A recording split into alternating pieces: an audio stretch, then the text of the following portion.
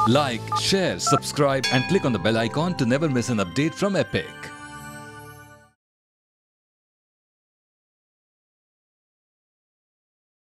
क्या आप जानते हैं? दुनिया की पहली प्लास्टिक सर्जरी एक भारतीय सर्जन महर्षि सुश्रुत ने की थी।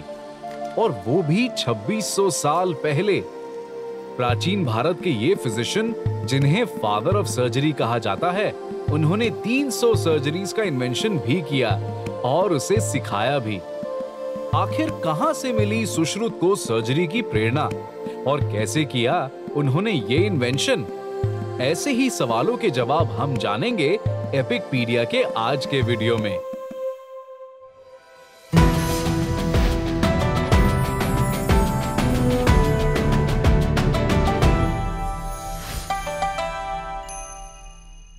लगभग 2600 साल पहले वैदिक कालखंड में एक ऋषि रहते थे, जिनका नाम था सुश्रुत। सुश्रुत उत्तर भारत के एक पुरातन और पवित्र शहर काशी में रहते थे, जो आज बनारस या वाराणसी के नाम से जाना जाता है। उस जमाने में ज्ञानियों को साधु या महर्षि कहा जाता था। ऐसे ही एक ज्ञानी सुश्रुत भी थे।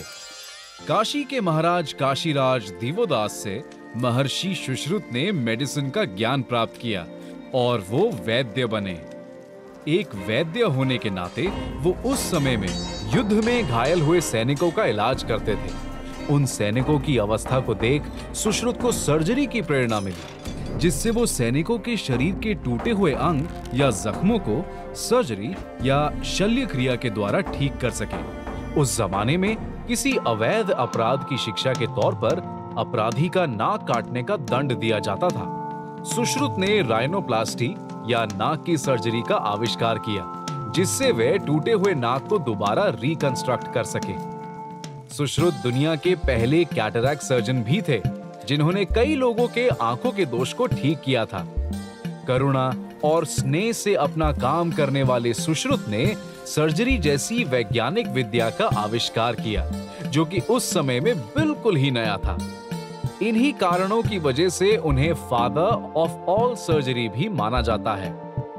सर्जरी के आविष्कार के साथ साथ सुश्रुत को यह ज्ञान हुआ कि उन्हें कई सारे सर्जिकल इंस्ट्रूमेंट्स की भी ज़रूरत होगी और ज़रूरत ही हर खोज की जड़ होती है।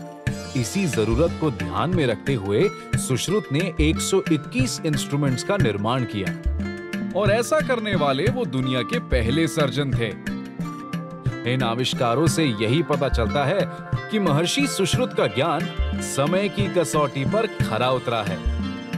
सुश्रुत ने अपने इस अमूल्य ज्ञान को विस्तार से एक संस्कृत स्क्रिप्ट के रूप में लिखा, जिसे सुश्रुत संहिता कहा जाता है। सर्जरी की प्रोसीजर बताने वाली यही संस्कृत स्क्रिप्चर आयुर्वेद के तीन पिलर्स में से एक है और अथर्ववेद का भी एक खंड है। सुश्रुत संहिता से पता चलता है कि सुश्रुत ने कैसे बिना किसी नाइफ के मृत शरीर का डाइसेक्शन और उनका अध्ययन किया। उनका ह्यूमन अनाटमी का अभ्यास करने का तरीका कुछ इस प्रकार था। वो मृत शरीर को पानी में रख के उसे डीकम्पोज होने देते थे और उस डीकम्पोजिंग बॉडी का समय के साथ अध्ययन करते थे। इसी से उन्होंने शरीर के स्ट्रक्चर का लेयर बाय लेयर निरीक्षण किया। इसी प्रयोग से सुश्रुत को सिजेरियन अब्डोमिनल सर्जरीज और ब्रेन सर्जरीज जैसी कठिन सर्जरीज का इन्वेंशन करने में सहायता मिली। सुश्रुत संहिता के अध्याय 1.16 में नाक के रिकंस्ट्रक्शन की सर्जरी यानी कि राइनोप्लास्टी के बारे में विस्तार से बताया गया। है राइनोप्लास्टी के अलावा सुश्रुत कैटरैक्ट सर्जरी के लिए भी जाने जाते हैं। सुश्रुत संहिता के एक वॉल्यूम उत्तर तंत्र में इसके बारे में काफ़ी विस्तार से लिखा गया है। ये प्रक्रिया मॉडर्न सर्जन्स को एक्स्ट्रा कैप्सुलर लेंस एक्सट्रैक्शन के समान लगती है। मगर सुश्रुत ने यही सर्जरी बिना आधुनिक उपकरणों के कर दिखाया था, जिससे उनके कौशल्य का पता चलता है। सुश्रुत संहिता 600 बीसीई में लिखी गई ये सर्जरी और मेडिसिन की अद्भुत संस्कृत स्क्रिप्ट आठवें शतक में एक अरब ट्रांसलेशन के रूप में दुनिया के सामने आई, जिसका नाम था किताब शाह अल हिंदी और किताबी सुसुन 19वीं शताब्दी की शुरुआत में हेसलर ने इस संस्कृत स्क्रिप्ट को लैटिन में और म्यूलर ने जर्मन में लिखा। इस प्रकार सुश्रुत संहिता और उसके लेखक महर्षि सुश्रुत को अंतरराष्ट्रीय स्तर पर पहचान तो मिली, पर समय के साथ साथ उनका नाम और उनका महत्व पूरी तरह से गुमनामी में खो गया।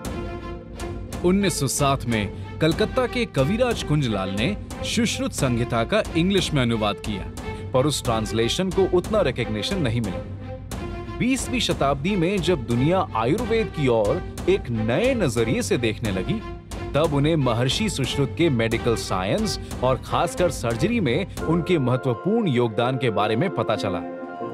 सुश्रुत संहिता को एंशियंट इंडियन मेडिकल लिटरेचर के अनेक रत्नों में से एक माना जाता है।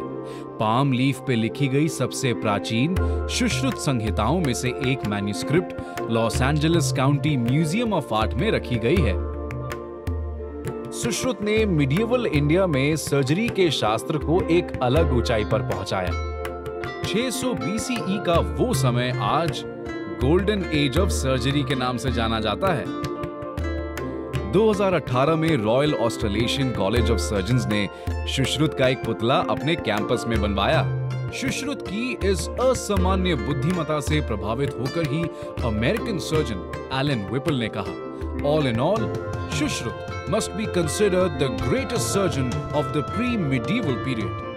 Sushruta का मतलब होता है, जिनकी ख्याति सबने सुनी हो। महर्षि सुश्रुत ने अपने नाम को सार्थ कर दिखाया। पूरी दुनिया में अपने काम की वजह से वे प्रसिद्ध तो हुए ही। साथ ही साथ, उन्होंने भारतीय मेडिकल नॉलेज को बाकी दुनिया के मुकाबले सबसे ज़्यादा विकसित बनाया। भारत के लिए एक राष्ट्रगीत क्यों ज़रूरी था? जन गण मन में ऐसी क्या खास बात थी कि इसे चुना गया? ऐसे ही सवालों के जवाब हम जानेंगे एपिकपीडिया के अगले वीडियो में।